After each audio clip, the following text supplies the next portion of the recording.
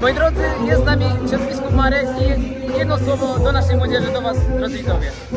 Jesteście piękni, jesteście wspaniali, bo Pan Bóg dał wam tyle pięknych darów. Razem z nimi odkrywajcie, razem z nimi je przeżywajcie, a wtedy Jego bliskość wcale nie będzie trudna. Amen.